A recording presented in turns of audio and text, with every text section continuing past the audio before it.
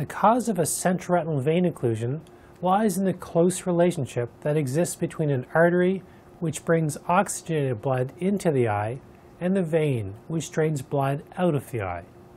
Because both are so close to each other in a narrow space, if an artery hardens, it can compress the vein.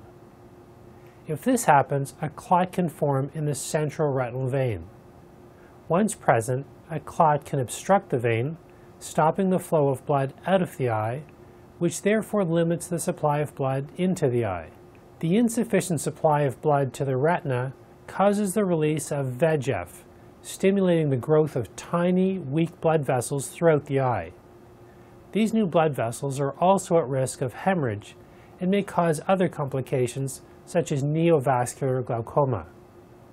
In its early stages, a vein occlusion can cause the vessels in the back of the eye to become dilated and tortuous as the pressure increases in the blocked vein.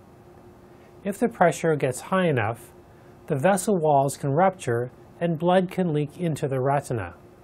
In addition to bleeding, serum, the fluid consisting of small proteins and lipids, can also seep into the retina.